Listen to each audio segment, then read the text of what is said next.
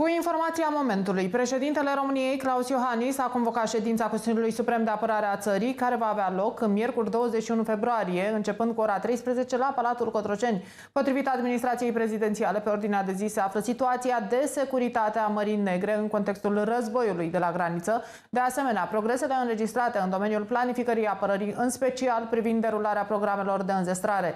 Totodată va fi prezentat și raportul Consiliului Suprem de Apărare a Țării privind activitatea desfășurată în 2023.